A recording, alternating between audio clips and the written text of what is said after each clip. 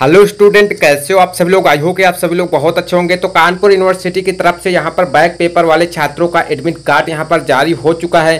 Admit card आपको कैसे download करना है, अभी आपको पूरा स्टेप बाय स्टेप बताऊँगा। यहाँ पर कानपुर यूनिवर्सिटी की तरफ़ से काफ़ी सारे बच्चे जो इंतज़ार कर रहे थे, उनका एडमिट कार्ड यहाँ पर रिलीज़ कर दिया गया है कानपुर यूनिवर्सिटी की तरफ़ से। जो भी छात्र पढ़ाई करते हैं, उनके लिए बहुत ही बड़ी खुशखबरी है, जिनका बैक लगा था किसी कारणवश। तो उनका यहाँ पर बैक पेपर का जो एडमिट कार्ड है, यूनिवर्सिटी ने जारी कर दिया है। तो सीधा आपको वेबसाइट पर लेकर चलता हूँ। लेकिन उससे पहले आपसे एक रिक्वेस्ट है कि अगर आप लोग चैनल पर न्यू है तो चैनल को सब्सक्राइब करें, वीडियो को लाइक करें। ज़्यादा से ज़्यादा इस वीडियो को शेयर करें। और एकलौता ऐसा चैनल है जो माई हेल्प से हम सबसे सटीक जानकारी आपको इस चैनल पर के माध्यम से आपको देखने को मिलती है तो इस वीडियो को लाइक ज़रूर करें। तो सीधा चलते हैं यूनिवर्सिटी की वेबसाइट पर, वहीं पर आपको पूरी जानकारी बताते हैं।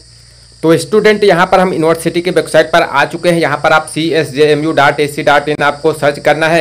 उसके बाद यहाँ पर आपको नोटिस वाले ऑप्शन पर क्लिक करना है। नोटिस वाले ऑप्शन पर जैसे ही आप क्लिक करते हैं, यहाँ पर आप सभी लोग देख सकते हैं कि back paper admit card link activated तो यहाँ पर सभी का जो बैक पेपर का लिंक है, वो एक्टिवेट कर दिया गया है। तो आप यहाँ से आकर या आप डायरेक्ट होम पर क्लिक करेंगे। होम पर क्लिक करने के बाद आपको यहाँ पर देख सकते हैं होम पर क्लिक करेंगे, उसके बाद यहाँ से आपको कट कर देना है, नीचे आएँगे। और यहाँ पर आपको एडमिशन से रिलेटेड आपको बता दूँ कि एडमिशन जो छात्र अभी तक नहीं किए हैं, कर दीजिए, क्योंकि यहाँ पर लास्ट डेट किसी भी वक्त आ सकती है। आप लोग यहाँ पर देख सकते हैं, जैसे मैं इस पर क्लिक करता हूँ, थोड़ा सा टाइम लग रहा है, क्योंकि वेबसाइट स्लो है।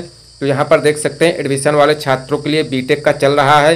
और यहाँ पर एडमिशन लास्ट डेट यहाँ पर इकतीस मई थी, जो नया कोर्स आया था तो उसमें अगर आप लोगों ने रजिस्ट्रेशन नहीं किया है तो अभी उसकी डेट फिर से आएगी, मैं आपको वीडियो में बता दूँगा। तो यहाँ पर सिंपली हम करते हैं नोटिस वाले ऑप्शन पर क्लिक और यहाँ पर आप सभी लोग देख सकते हैं कि back paper admit card link activated from campus तो इस पर आपको क्लिक कर देना है। ये कैंपस स्टूडेंटों के लिए एडमिट कार्ड है। आप लोग यहाँ पर देख सकते हैं get admit card for back paper examination event semester 2021-22 तो यहाँ पर आपको करना क्या है? यहाँ पर आपको अपना नामांकन संख्या डालनी है डेट ऑफ़ बर्थ डालनी है और आपका सेलेक्ट करना है। कौन सा सेमेस्टर है, वो आपको सेलेक्ट करना है। सेलेक्ट करने के बाद आपको यहाँ पर व्यू देखे के ऑप्शन पर आपको क्लिक करना है तो आपका जो एडमिट कार्ड है वो आपके सामने डाउनलोड होकर आ जाएगा। आपको इस पर क्लिक करना है व्यू पेपर एडमिट कार्ड देखे के ऑप्शन पर आपको क्लिक कर देना है। तो ये था छोटा सा वीडियो मैंने आपको बता दिया है। अगर आप इसका डायरेक्ट लिंक चाहते हैं तो टेलीग्राम पर आ जाइए। टेलीग्राम का लिंक आपको डिस्क्रिप्शन में मिल जाएगा। वहाँ पर डायरेक्ट इसका लिंक डाल दूँगा।